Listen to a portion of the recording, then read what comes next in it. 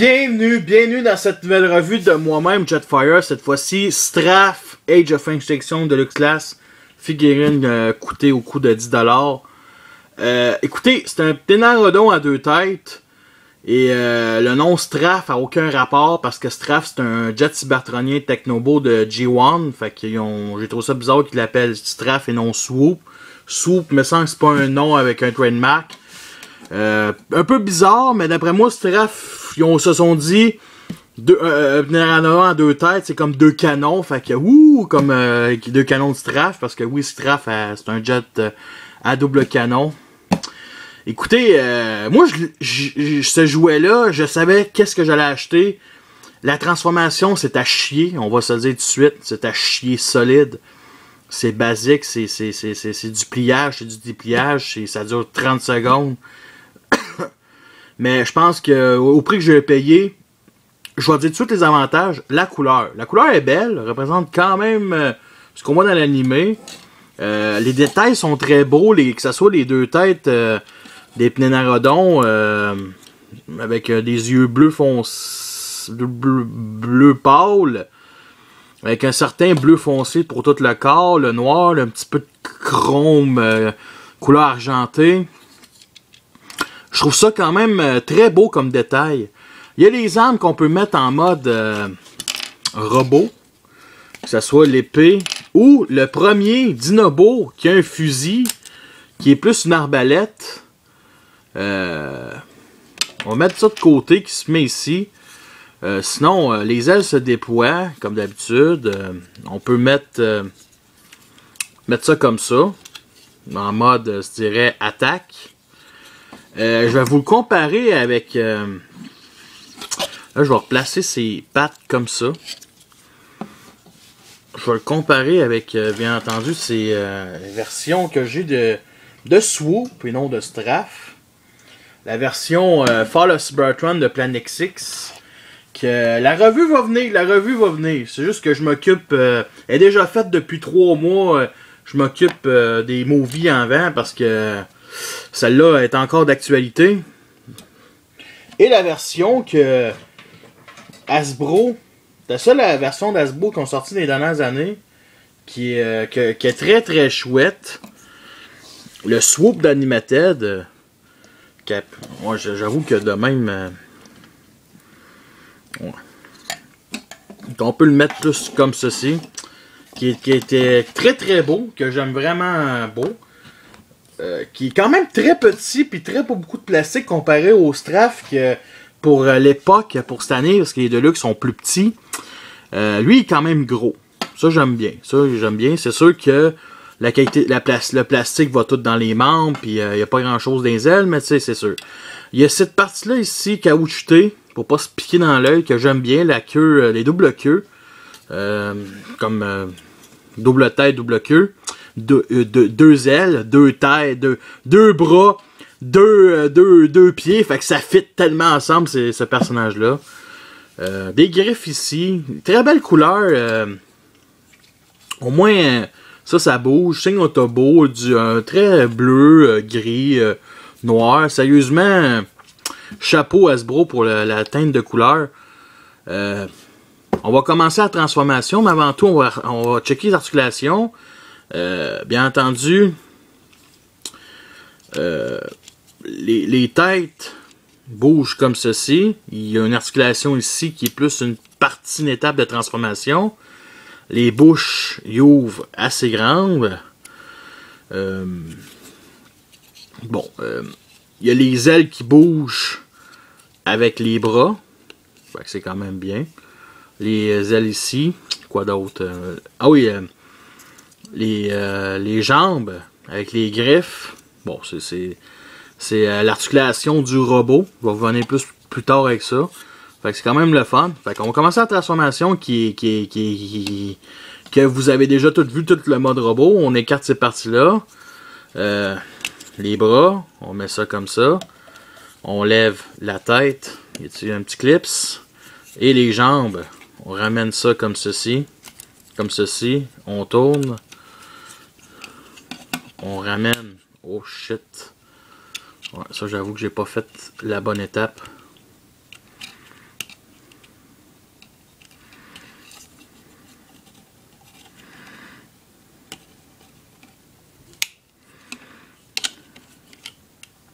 Comme ceci. Euh, c'est un jouet qui, euh, qui, appartenait à la vague 2. Avec euh, Drift, puis... regarde, je me souviens, avec Slash. Fait que... Ça, comme ceci. Fait que nous avons enfin notre mode robot. on peut mettre le foutu cette partie-là et cette partie-là ici, comme ça. Et l'autre épée, euh, on peut, la mettre ici. Bon, mettre de côté. Et nous avons notre Straff mode robot. Euh, voici une petite comparaison avec euh, Swoop et euh, Fall of Run et Animated que que je trouve ils fait quand même ensemble. Je trouve que vraiment euh, les trois ensemble sont, sont classe, sont classe, sont vraiment. Moi je les, apprécie. J'aime le personnage. C'est surtout dans Fall of Cybertron qu'on l'a vu le personnage avec sa personnalité. Euh, bon, maintenant, passons aux descriptions du mode robot. Pas mal basique. Euh, bleu, noir, argenté. Le torse est très beau, très beau, très très beau détaillé. La tête, euh, pas de light piping, une crête. Une crête comme Swoop, justement. Une visière bleu ciel, que je trouve... C'est sûr qu'il était pas supposé faire bleu, parce que ça aurait été bleu de la même couleur que celui-là. Fait c'est pour ça qu'il est bleu ciel. Au moins, il a les mêmes couleurs que les yeux du Plénarodon. Mais c'est sûr que le mode robot, il est comme ça. Le Plénarodon fait un certain style, fait des épaules un peu plus... Il vient compléter les épaules qui sont massives, qui sont petites. L'arme, bon, plutôt les armes, il y a ce fameux arbalète-là que je trouve génial. vraiment, vraiment génial. Il y a un port minican ici, puis bien entendu, il y a des petits pécots qu'on peut mettre euh, sa lame, les deux lames ensemble pour former un gros fusil euh, comme ceci.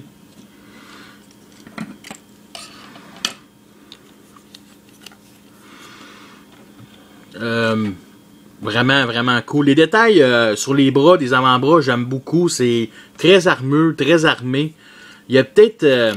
c'est peut-être une mal transformation, mais il y a les, comment je pourrais dire, il y a des grosses jambes, mais ici, les avant-jambes sont minces. Ici, c'est correct, mais ici, j'essaie de vraiment savoir si c'est vraiment une partie de transformation qu'il faut replier.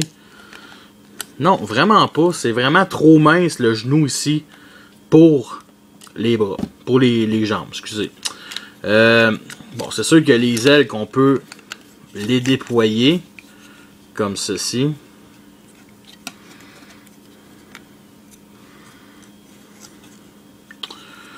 Euh, qui était très le fun. Côté articulation, c'est assez basique. Euh, 360 degrés au coude, pliage juste vers l'avant. Les bras, absolument rien. Ben, je veux dire, oui, il est sur pivot, comme ceci, mais il aurait pu au moins. Tu sais, il y a un espace ici, il aurait pu se replier. Ça, ça, ça, l'aurait empêché de voir le pnénarodon en mode. Euh, les, bras, juste, les, mains justement en mode apnérodon. Fait que ça, c'est vraiment un peu imbécile de leur part. On va se le dire. Euh, sinon, la taille, 360 degrés. La tête, bon, sur un bas joint. Peut pas vraiment tourner à cause des parties arrière euh, qui bloquent. Mais bon, ça peut tourner, ça peut être euh, en avant, plutôt en, avant. Il y a cette partie-là ici qui ne se lock pas vraiment. Je pensais que ça aurait locké, mais non, vraiment pas. Hmm. Bon, continuons. Bajoint, les, les pieds sont sur bajoint, ici 360 degrés. Euh, articulation, bon. Articulation ici, au genou. Une autre articulation si on déclipse les pattes. Euh, mais ça, c'est vraiment une partie de transformation. Euh, les ailes, ça, se déploie, tout simplement. Bon. On peut mettre les couteaux ici ou ici. Moi, je m'en fous un peu. Euh, sinon, j'ai pas trop checké, mais il me semble que... Oups. Si on le met comme ça, ok, il y a vraiment des petites jambes, mais ça fit. Ok, c'est ok, c'est laid. Ok, c'est vraiment laid. Mais ça, ça fitterait là, avec ses, avec ses vraies pattes de, de dinosaure. Ça pourrait fitter ensemble. Bon. Mais bon, c'est Hasbro qui décide de ça. Côté euh, posabilité, c'est sûr que les ailes positionnées de même, ça fait que il peut avoir peut-être un petit peu plus de position d'attaque, je dirais. Bon, mettre cette arme là. Ce couteau là. Comme ça ici.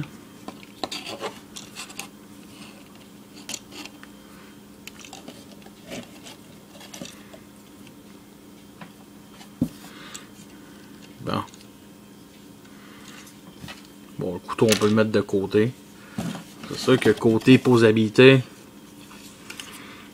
m'arranger au moins que les ailes, ils m'aident. Fait qu'on va y donner un coup de pied dans, dans les airs. Puis laisser une patte. Comme ça. Ouh. Bon. Fait que oui, on peut faire une petite pause euh, d'attaque de combat, on va dire. Très intéressant. Euh, on peut mettre les couteaux ici. Bon, les couteaux, plus l'arbalète. La queue qui est en plastique. Je pense que j'ai entendu dire qu'avec un séchoir à cheveux, tu peux... Euh, le, le, le, pas sécher, mais le faire bouger d'une façon différente, de le mettre plus comme ceci. Moi, je trouve ça correct. Il y a peut-être dans deux barres, mais des deux barres, ça fait peut-être un peu dur. Mais bon, on va le transformer en mode... Euh, pas Triceratops, là, mais en mode Pnenarodon à deux têtes. Fait qu'on va ramener cette partie-là ici. Comme ça. Ramener ça. Comme ceci.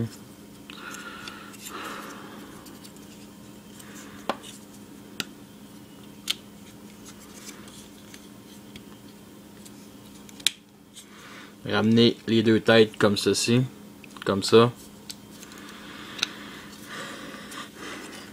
On va mettre le bras.